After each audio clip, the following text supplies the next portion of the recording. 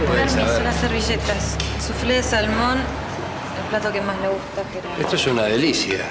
¿No te parece, Arnaldo? Mirá. La verdad que sí, ¿eh? Como mi mujer, que es un encanto, leal.